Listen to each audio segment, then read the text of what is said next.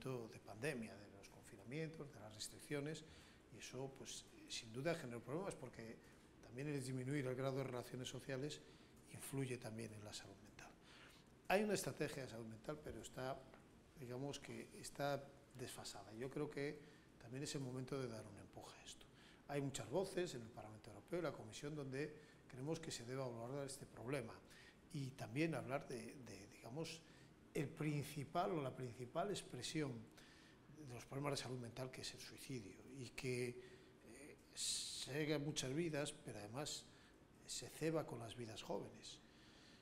Y es cierto que los países mediterráneos quizá no tengamos los niveles tan elevados de suicidio como en países del norte, pero tenemos un problema de salud pública derivado de la salud mental.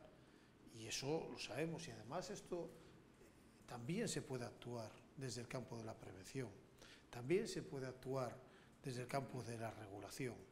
Y además, en el ámbito de la salud mental, lo que hay que hacerlo primero, y yo creo que es importante, es llevarlo a la vida pública, al debate público. Como se está llevando ahora, yo creo que es uno de los primeros pasos, para mí fundamental, y hablar y tener en cuenta que hay muchísimas personas infradiagnosticadas y que solo estableciendo un debate serio y honesto, esas personas van a poder aflorar y buscar ayuda.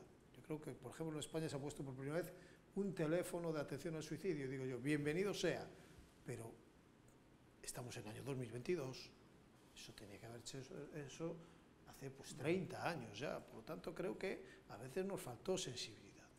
Y yo creo que es el momento también de Europa de darle un empujón a esto.